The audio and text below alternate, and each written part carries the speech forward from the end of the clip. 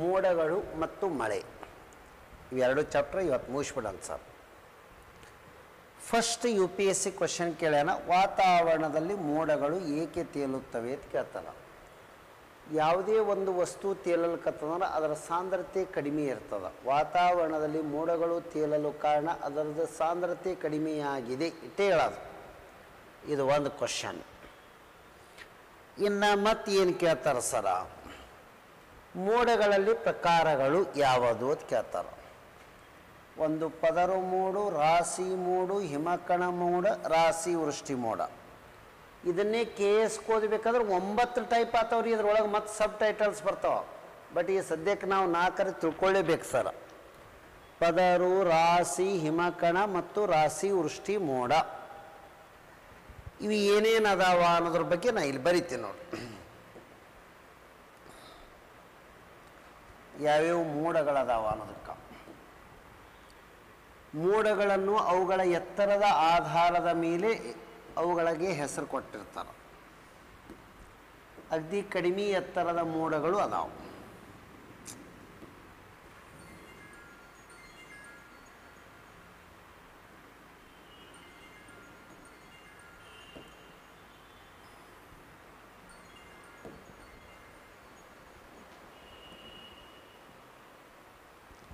Next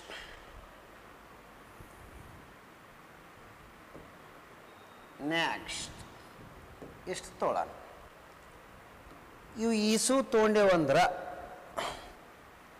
ಒಂದನೇದ್ದು ಪೂರ್ಣ ಎತ್ತರದ ಮೋಡ ಯಾವುದು ಅಂದ್ರೆ ಸಿರಸ್ ಮೋಡು.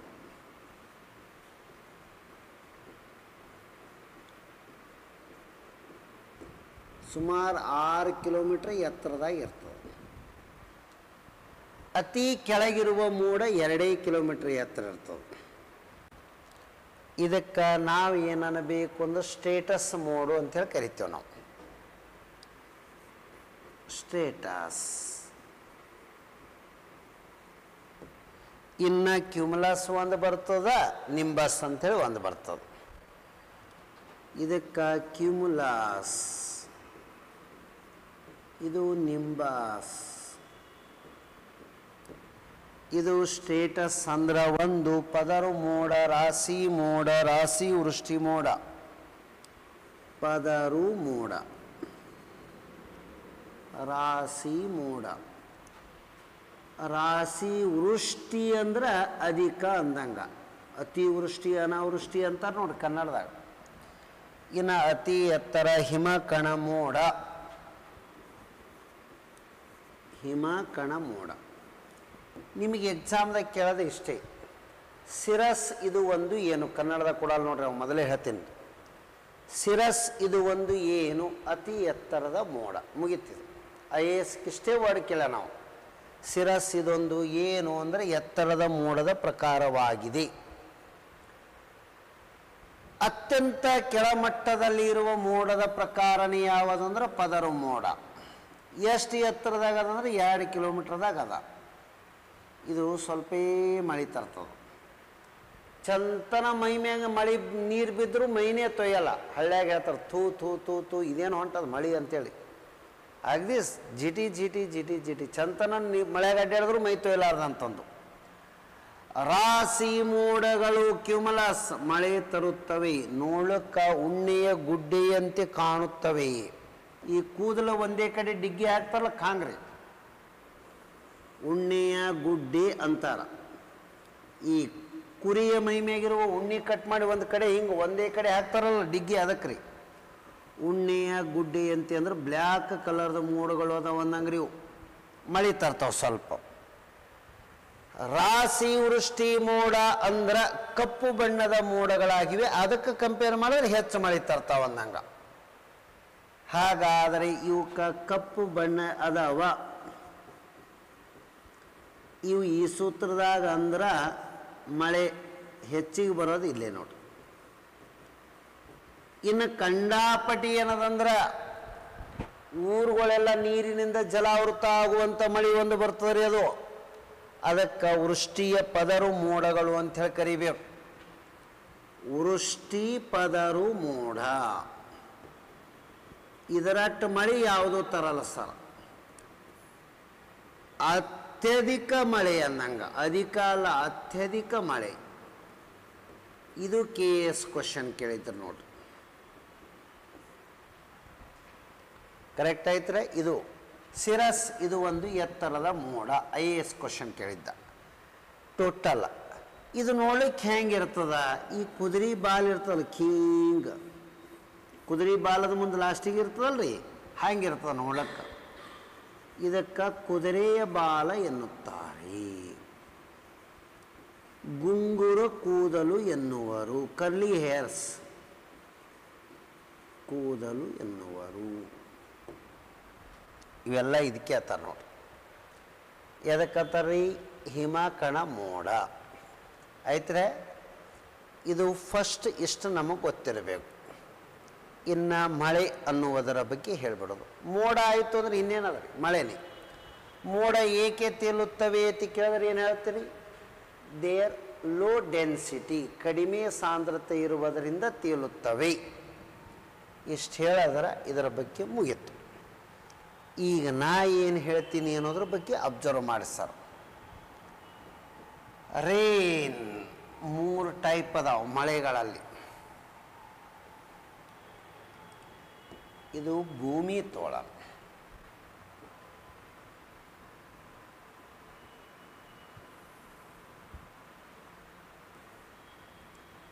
ಇದಕ್ಕೆ ಬೆಟ್ಟ ತೋತೀವಿ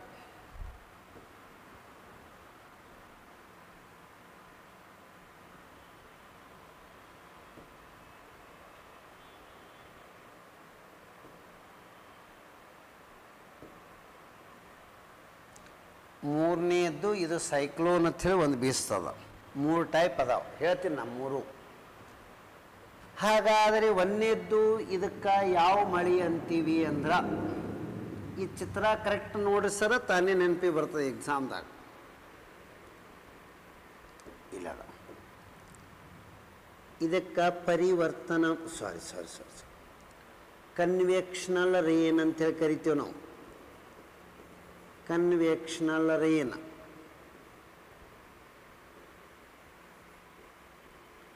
ಇಂಗ್ಲೀಷ್ನಾಗ ಪರಿ, ಸ, ರಣ, ಮಳೆ ಅಂತಾರ. ಪರಿಸರಣ ಪರಿಸರಣ ಮಳೆ ಅಂತಾರ. ಹಾಗಾದರೆ ಎರಡನೇ ಮಳೆ ಯಾವುದು ಅಂದ್ರ ಆವರ್ತನ ಮಳೆ, ಪರ್ವತ ಜನಿತ ಮಳೆ. ಪರ್ವತ ಜನಿತ ಮಳೆ ಅಂತೇಳಿ ಕರಿತೀವಿ. ಇದಕ್ಕೆ ಏನೋ ಒಂದು ಹೆಸರ ಓರೋಗ್ರಾಫ್ ಅಂಥೇಳಿ ಕರಿತೀವಿ. Orographic rain. ಇನ್ನು ಮೂರನೇದು ಏನೋ ಒಂದು ಏನು ಬರ್ತದ ಅಂತ ಕೇಳಿದ್ರೆ ಕಿಂಗ್ ನೋಡಿ. ಸೈಕ್ಲೋನ್. ಸೈಕ್ಲೋನ್ ಅಂದ್ರ ಆವರ್ತನ ಮಳೆ ಚಂಡಮಾರುತ ಅಂತಲ್ಲ ಕದುರಿ. ಕೇಂದ್ರದಲ್ಲಿ ಒತ್ತಡ ಕಡಿಮೆ ಇರ್ತದೆ ಇದು. ಇಷ್ಟು ಕರೆಕ್ಟ್ ಗೊತ್ತಿರಬೇಕು. ಸಮಭಾಜಕ ವೃತ್ತದಲ್ಲಿ ಏನಾಗ್ತದಂದ್ರ ಸೂರ್ಯನ ಕಿರಣಗಳು ನೇರವಾಗಿ ಎಲ್ಲಿ ಬೀಳುತ್ತವ ಅಂದ್ರೆ ಸಮಭಾಜಕ ವೃತ್ತದ ಮೇಲೆ ಸೂರ್ಯನ ಕಿರಣಗಳು ನೇರವಾಗಿ ಬೀಳುತ್ತವೆ. ಈ ಸೂರ್ಯನ ಕಿರಣಗಳು ನೇರವಾಗಿ ಬೀಳೋದರಿಂದ ನೀರು ಏನಾಗ್ತದ ಇಲ್ಲಿ ಅಂದ್ರೆ ಆವಿಯಾಗಿ ಮ್ಯಾಗ ಹೋಗ್ತವೆ.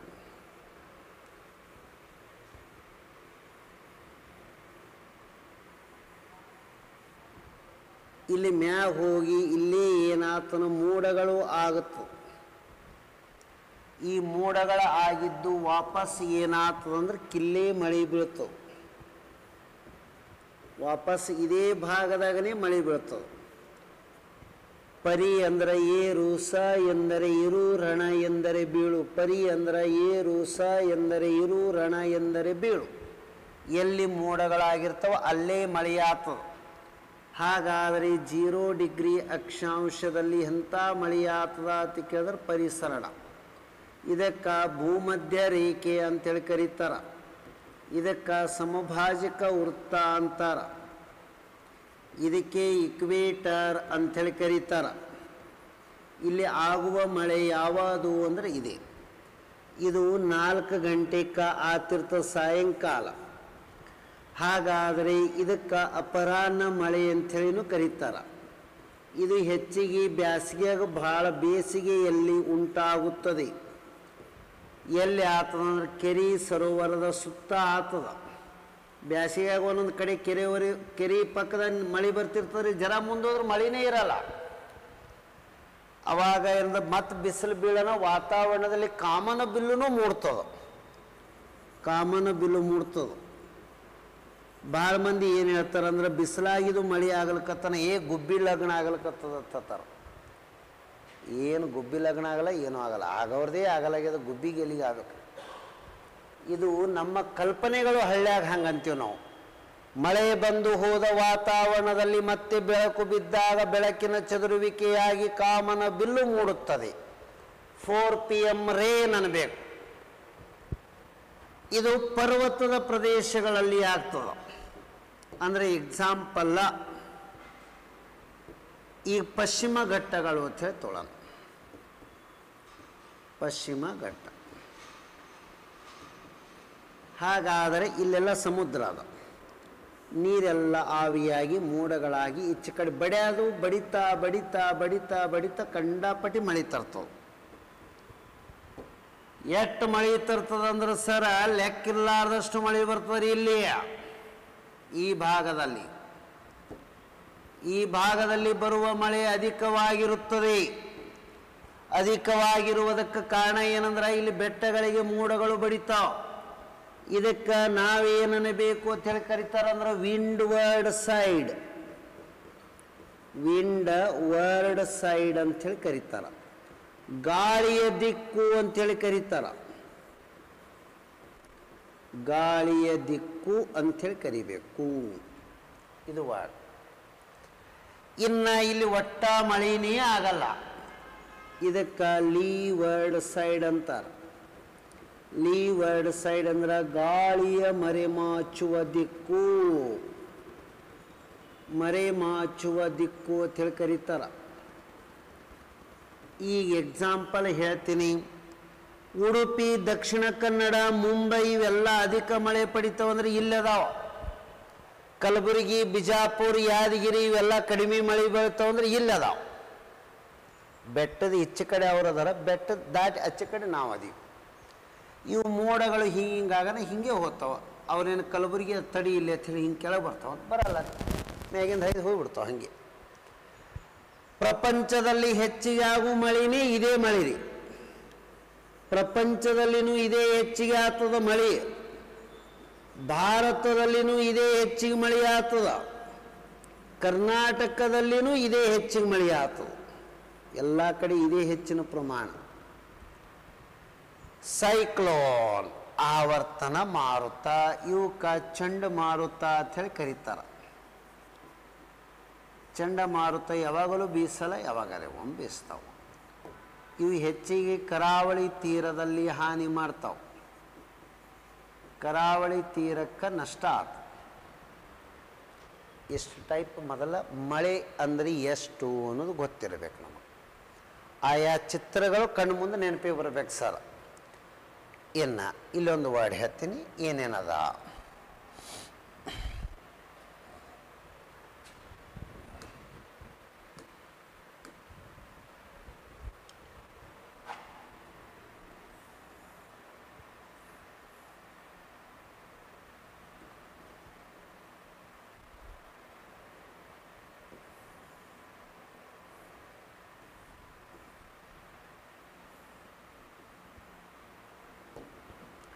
ಇದು ಇಂಡಿಯಾ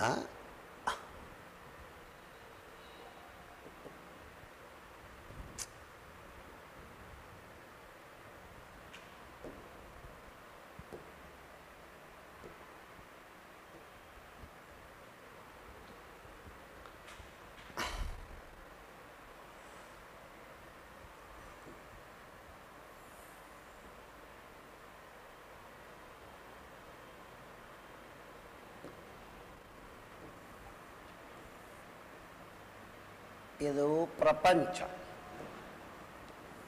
ಅದರೊಳಗೆ ಇದು ಇಂಡಿಯಾ. ಇಂಡಿಯಾದೊಳಗೆ ಮತ್ತು ನಾವು ಕರ್ನಾಟಕ ಒಬ್ರು ಬೇಕಲ್ಲ. ಎಲ್ಲ ನಾಲ್ಕು ಕಡೆ ಮಳೆ ಎಲ್ಲೆಲ್ಲಿ ಬೀಳುತ್ತದೆ ಎಟ್ಟಿಟ್ಟು ಅನ್ನೋದು ಒಂದೇ ಸಲ ಹೇಳ್ಬಿಡೋಣ ಸರ್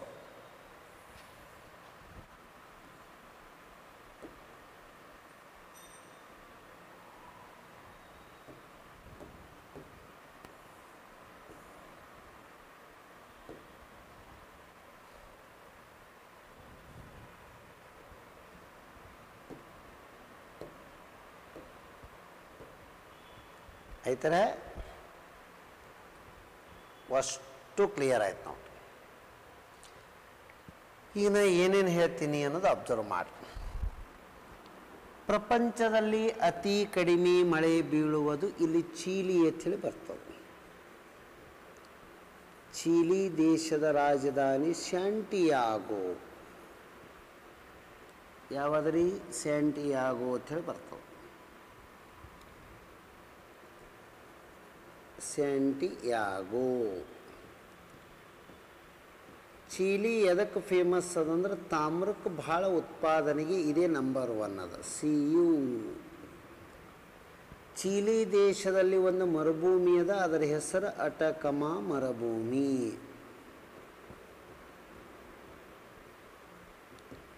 ಚೀಲಿ ದೇಶದ ಈ ಮರುಭೂಮಿದೊಳಗೆ ಅರಿಕಾ ಹೇಳಿ ಪ್ಲೇಸ್ ಅದ.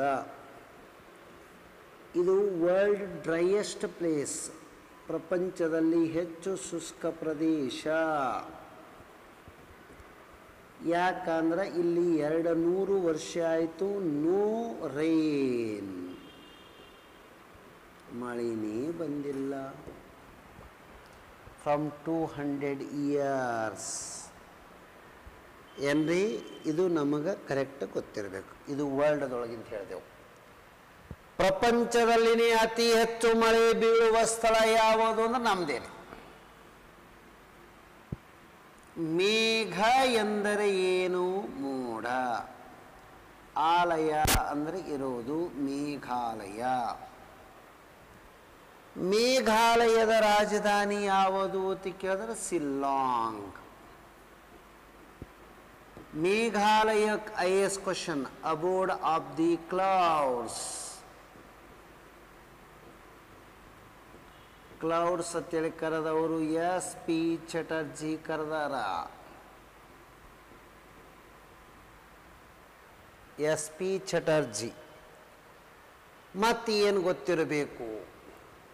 ಮೇಘಾಲಯದಲ್ಲಿ ಎಂಥ ಮಳೆ ಆಗ್ತದ ಅಂತ ಕೇಳ್ತಾರ. ಪರ್ವತ ಜನಿತ ಮಳೆನೇ ಹೆಚ್ಚಿಗೆ ಆಗ್ತದ. ಓರೋಗ್ರಾಫಿಕ್ ರೇನ್ ಪರ್ವತ ಜನಿತ ಮಳೆ. ಇಲ್ಲಿ ಮೂರು ಬೆಟ್ಟಗಳದಾವ. ಗಾರೋ ಖಾಸಿ ಜಂತಿಯ. ಅದಕ್ಕೆ ಇಲ್ಲಿ ಹೈಯೆಸ್ಟ್ ಮಳೆ ಆತದ ಇವು ಮೂರು ಬೆಟ್ಟಗಳು ಅದಾವ. ಇಲ್ಲಿ ಯಾವ ಪ್ಲೇಸ್ನಾಗ ಆತದ ಅನ್ನೋದು ಇಂಪಾರ್ಟೆಂಟ್ ಮಳೆ ಈಗ. ಒಂದು ಮೌಸಿನ ರಾಮ್ ಅಂಥೇಳಿ ಬರ್ತದೆ. ಎರಡನೆಯದ್ದು ಚೀರಾಪುಂಜಿ ಅಂಥೇಳಿ ಬರ್ತದೆ. ಇವೆರಡೂ ಕರೆಕ್ಟ್ ನೆನ್ಪಿಟ್ಕೋರಿ. ಇಲ್ಲಿ ನಾನು ನಿಮಗೆ ಮೂರು ಕ್ವಶನ್ ಕೇಳ್ತೀನಿ ಕರೆಕ್ಟ್ ಹೇಳಬೇಕು.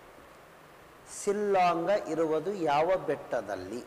ಗಾರೋನೋ, ಖಾಸಿನೋ, ಜಂತಿಯಾನೋ? ಅದು ಹೇಳೋದು. ಸಿಲ್ಲಾಂಗ್ ಇರುವುದು ಯಾವ ಬೆಟ್ಟದ ಮೇಲೆ? ವಾಲ್ ಎರಡನೆಯದ್ದು ಏನಂದ್ರೆ ಮೌಸಿನ್ ರಾಮ್ ಮತ್ತು ಚೀರಾಪುಂಜಿ. ಇಲ್ಲಿ ಬರೀಲ್ರಿ ಇದಕ್ಕೆ? ಖಾಸಿ ಬೆಟ್ಟದಲ್ಲಿ ಇದೆ. ಒಂದಾಯಿತು. ನೆಕ್ಸ್ಟ್ ಇನ್ನು ಎರಡನೆಯದ್ದು ಏನದಂದ್ರೆ ಮೌಸಿನ ರಾಮ್ ಚೀರಾಪುಂಜಿ. ಮೌಸಿನ ರಾಮ್ ಮತ್ತು ಚೀರಾಪುಂಜಿ.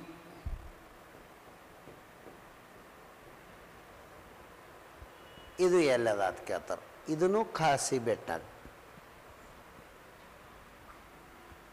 ಖಾಸಿ ಬೆಟ್ಟ. ಕರೆಕ್ಟ್ ಆಯ್ತ್ರೆ?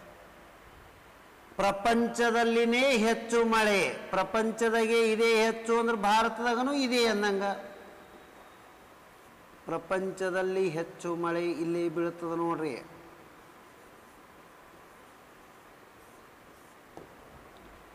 ಇದರದ್ದು ಮುಗಿಯಿತು. ಇನ್ನು ಭಾರತದಾಗೂ ಅದೇ ಹೆಚ್ಚಿಗೆ ಆಯಿತು. ಭಾರತದ ಕಮ್ಮಿ ಎಲ್ಲಿ ಬೀಳ್ತದ ಅಂತ ಕೇಳ್ತಾರೆ. ರಾಜಸ್ಥಾನದ ರೊಯ್ಲಿ. ರಾಜಸ್ಥಾನದ ರೊಯ್ಲಿ. ಪಿ ಎಸ್ ಐ ಕೇಳ್ಯಾರ ಇದನ್ನು. ಕಡಿಮೆ ಮಳೆ.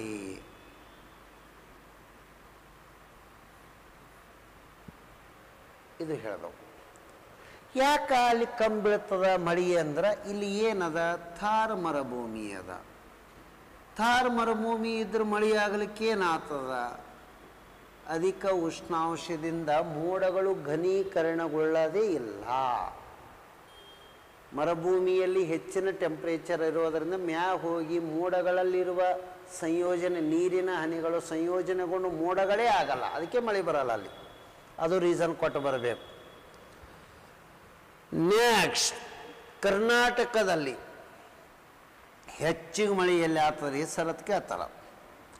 ಕಿಲೇ ಬರ್ಬೇಕು ಹಿಂಗೆ ಅತಿ ಹೆಚ್ಚು ಮಳೆ ಬೀಳುವ ಸ್ಥಳಗಳು ಹೆಚ್ಚು ಮಳೆ. ಒಂದನೇದ್ದು ಶಿವಮೊಗ್ಗ ಜಿಲ್ಲೆ ಆಗುಂಬೆ ಹೇಳಿದ್ರೆ ಹೋಗ್ತದೆ ಆ ಕಡೆ. ಹೇಳ. ಕರ್ನಾಟಕದಲ್ಲಿ ಹೆಚ್ಚು ಮಳೆ ಬೀಳುವ ಸ್ಥಳ ಯಾವುದು? ಹುಲಿಕಲ್. ಎಲ್ಲದರಿ ಶಿವಮೊಗ್ಗ. ಮತ್ತೆ ಎಲ್ಲೆಲ್ಲಿ ಬೀಳ್ತದ ಆಗುಂಬೆ. ಇಲ್ಲಿನೂ ಮಳೆ ಬೀಳ್ತದ ಬಟ್ ಈ ಸದ್ಯಕ್ಕೆ ಇದು ಅದ ಇದೂ ಶಿವಮೊಗ್ಗ. ಭಾಗಮಂಡಲ ಕೊಡಗುದಾಗೂ ಬೀಳ್ತದೆ ಭಾಳ ಮಳೆ ಭಾಗಮಂಡಲದಾಗ ಮಳೆ ಬಿತ್ತು ಅಂದ್ರೆ ಕಾವೇರಿ ನದಿ ತುಂಬಿ ಹರಿತದ ಹೋದಾಗ ಅದ ಕರ್ನಾಟಕದಲ್ಲಿ ಹೆಚ್ಚು ಮಳೆ ಆಯಿತು. ಇನ್ನು ಕಮ್ಮು ಮಳೆ ಬೀಳೋದಕ್ಕಿಲ್ಲ ಅದ ನೋಡಿ ರಾಯಚೂರು. ಸಾರಿ ರಾಯಚೂರು ಹತ್ತಿರ ಚಿತ್ರದುರ್ಗ. ಕಡಿಮೆ ಮಳೆ. ಇದನ್ನು ಕೆ ಎಸ್ ಕೇಳಲ್ಲ ಚಿತ್ರದುರ್ಗ ಜಿಲ್ಲೆ ಆ್ಯಂಡ್ ಹಿರಿಯೂರ taluk ಇರ್ಬೇಕಂದ್ರೆ mostly taluk correct Nayakanahatti Nayakanahatti the and ಇಷ್ಟು ಗೊತ್ತಿರಬೇಕು. ಮಳೆಯ ಪ್ರಮಾಣ ಅಳೆಯುವುದು ರೇನ್ ಗೇಜದಿಂದ